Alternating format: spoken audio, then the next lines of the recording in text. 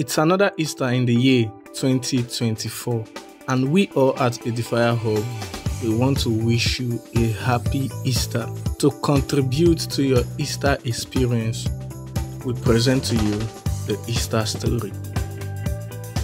A lot of persons would be asking themselves, especially those who are not believers, the question in their heart would be, What is Easter?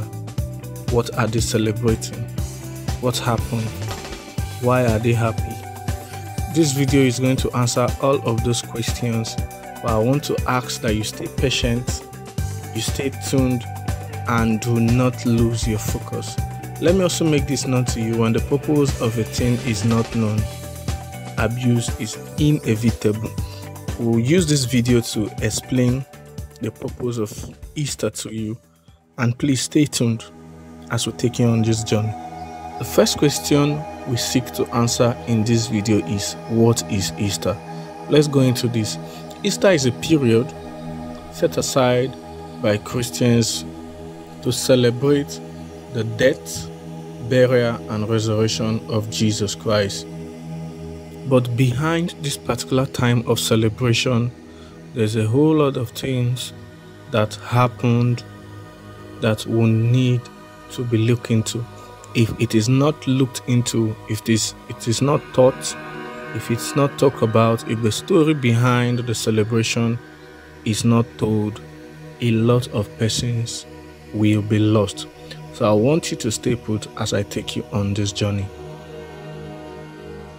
The first thing I want you to understand is that God is a God of justice. This is very important to understanding the Easter story. He is a God of justice. He operates a justice system in which, when you fall short of the standard of justice that has been set, uh, you don't have any other choice than to face the penalties that comes as a consequence for your disobedience or your shortcomings. This is very important. Now, when we read through the Bible in order to understand the story behind Easter, the story behind the celebration, we'll see in Romans chapter 5, verse 12. It said, When Adam sinned, sin entered the world. Adam's sin brought death, so death spread to everyone, for everyone has sinned. The explanation is this God created a man called Adam to become the first fruit for humanity. In God's heart, when He created Adam, His intention was for Adam to become the father of humanity. Every other person will come from the lions of Adam. But Adam sinned, Adam disobeyed. And the consequence of the sin of Adam, as we see in Romans chapter 5, verse 12, is that Adam's sin spread to everyone. Adam's sin spread to everyone. How did Adam's sin spread to everyone? Romans chapter 5, verse 19 said, Because one person disobeyed God, many became sinners. But because one other person obeyed God, many will be made righteous. It is a thing of fatherhood. The fatherhood of Adam failed humanity because he disobeyed God. And because of that particular disobedience of Adam, everyone became sinners. I'm going to read Romans chapter 5, verse 19 again. Because one person disobeyed God, many became sinners. To give you perspective in this video, I want you to understand that sin is actually disobedience to the word of God. You know, the Bible is very clear on matters that has to do with disobedience and sin. In Romans chapter 6 verse 23, the scripture said, "For the wages of sin is death." What does it mean? It means that for disobedience, the disobedience of Adam, the disobedience of humanity in Adam, the wages that we are to get from that particular action Adam has committed is death. So the wages of sin is death, the penalty for sin is death. That is what the scripture has said. You cannot turn this hand of justice because you remember how I started this video that God operates a justice system. The wages of sin is that you will have to pay that wage to be free from the shackles of sin. This is where the matter gets interesting. I want you to know that without the death of a sinless man, salvation cannot be bought. Without the death of a sinless man, the penalty for sin cannot be paid for. This is what I mean. Adam hadn't the capacity to be able to die for his sin, for that sin to be forgiven and forgotten. So, this was what man had to do. I want you to understand this. Man was trying to pay this debt that he owed due to sin from Adam, man had to put up a system of atonement, a system that will make for his inability because man is guilty. It's a case of the person who is owing a debt not having the capacity to pay that debt. So he needs another person who is wealthier or richer than him to be able to pay that debt for him. This is just the case. So man hadn't that capacity. What man had to do to appease the justice system of God was to now use the blood of goats. You know, man was trying to use animals to atone for his sin. So that those animals then in the old system would be pure, clean, without blemish, and it did not have the capacity to be able to cover sin for a long time. It was just for a period of time, and they will have to do it another year. Let me read what the scripture has to say about this in Hebrews chapter 9, verse 13. The scripture said that under the old system, the blood of goats and bulls and the ashes of young cows could cleanse people's body from ceremonial impurity. So it was possible, but under the system that this the blood of goats, of bulls, and the ashes of young cow could cleanse people from their body from ceremonial impurities.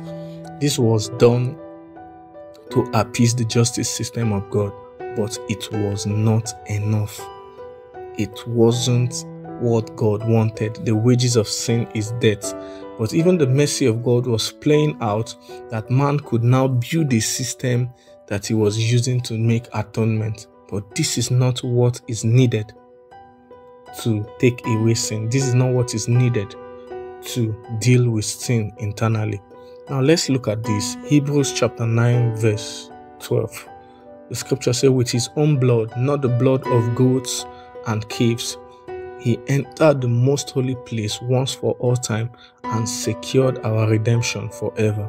So, what Jesus did was he came in as a sinless man out of God. Please mark that he came in as a sinless man, born of a virgin, did not conceived of the Holy Spirit, did not wear or carry anything that has to do with the lions or the lineage of Adam. So he came as a man, but as a sinless man, offered in death. So the death of Jesus was the wage that was required to pay the debt of sin. The death of Jesus was the wage required to pay the debt of sin. So when he died with his own blood, he secured our redemption forever.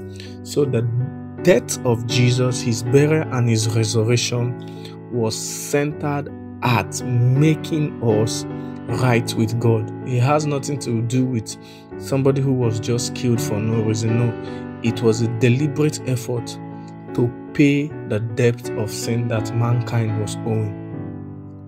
To give you perspective as I tie up this video, I'm going to read Hebrews chapter 10, verse 1 to 10. The Bible said that the old system under the laws of Moses was only a shadow, a dim preview of the good things to come. Not only the good things themselves, the sacrifice under that system were repeated again and again, year after year, but they were never able to provide perfect cleansing for those who came to worship. I hope you're following this. If they could have provided perfect cleansing, the sacrifices would have stopped, for the worshippers would have been purified once for all time, and their feelings of guilt would have disappeared.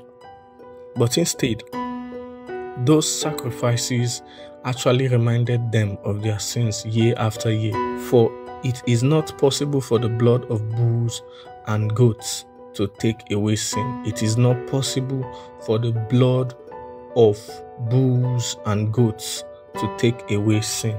Verse 5 That is why when Christ came into the world, he said to God, You did not want animal sacrifices or sin offerings, but you have given me a body to offer. I hope you're following what I'm reading. Verse 6 This is Jesus or Christ speaking to God. He said, You were not pleased with the burnt offerings or other offerings for sins 7. Then I said, Look, I have come to do your will, O God, as it is written about me in the scriptures. 8. First, Christ said, You did not want animal sacrifices or sin offerings or burnt offerings or other offerings for sins, nor were you pleased with them, though they were required by the law of Moses. 9. Then he said, Look, I have come to do your will. He cancels the first covenant in order to put the second into effect.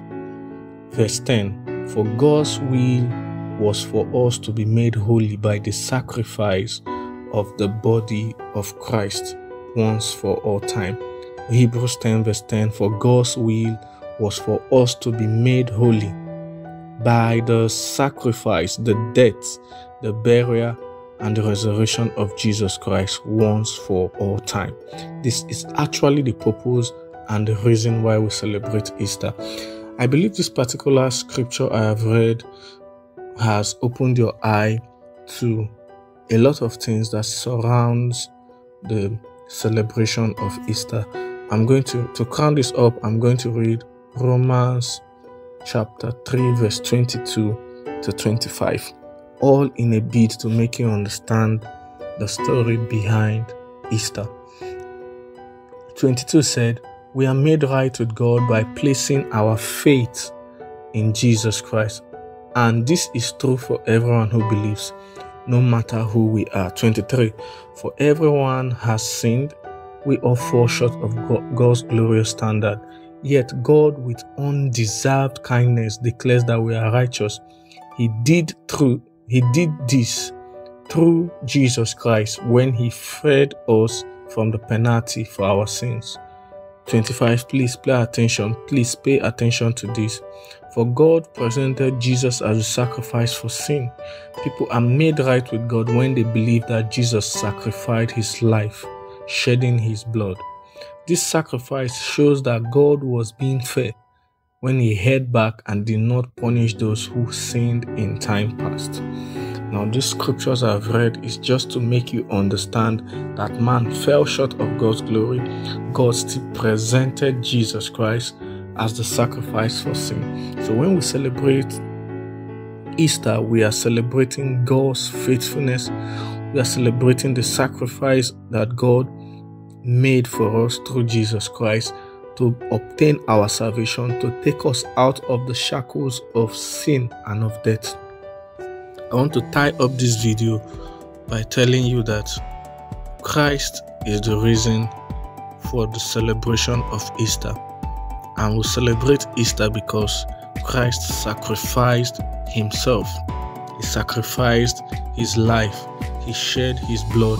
He died to give you salvation to make you right with God.